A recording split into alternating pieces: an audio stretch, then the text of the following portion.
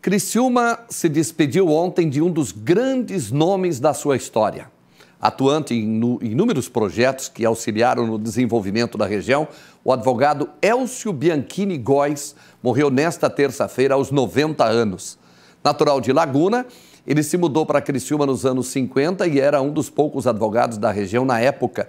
Foi um dos primeiros inscritos em Santa Catarina na Ordem dos Advogados e recebeu da OAB a medalha João Batista Bonassis, a maior honraria da ordem. Além disso, foi sócio fundador e ex-presidente do Lions Clube Criciúma Centro, dirigente do Criciúma Esporte Clube, diretor da SATC e contribuiu para a criação da Diocese de Criciúma.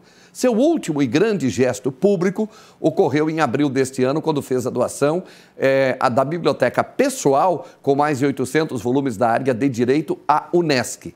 Elcio deixa a esposa Silésia, filhos e netos. A SIC e o Criciúma Esporte Clube lançaram notas de pesar pelo falecimento de Elcio.